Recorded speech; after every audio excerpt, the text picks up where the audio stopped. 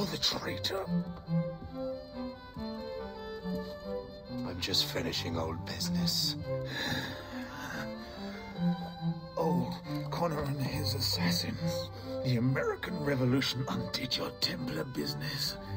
And perhaps we shall start a revolution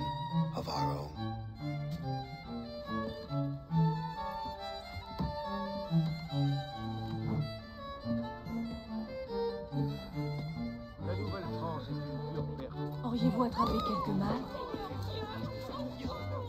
Uphold the principles of our order, and all that for which we stand. Never share our secrets, nor divulge the true nature of our work. Do so until death, whatever the cost. This is my new creed. I am Shay Patrick Cormac, Templar of the Colonial, of the American Rite. I am an older man now, and perhaps wiser.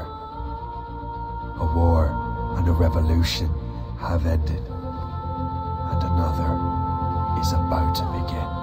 May the Father of Understanding guide us all.